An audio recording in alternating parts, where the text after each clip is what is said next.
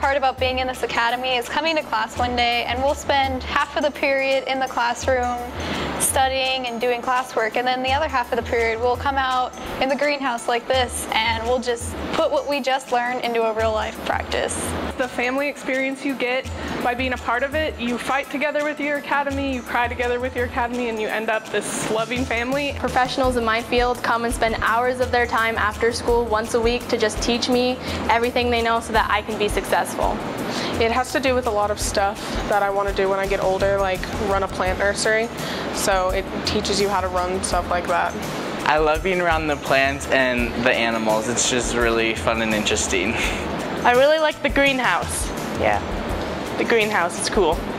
We have a lot of fun. We do a lot of fun things. We are an FFA and that takes us a lot of places. That allows me to work outdoors and do what I love. Hands-on. Family. Experience. Planty. Fun. Agatastic. Awesome.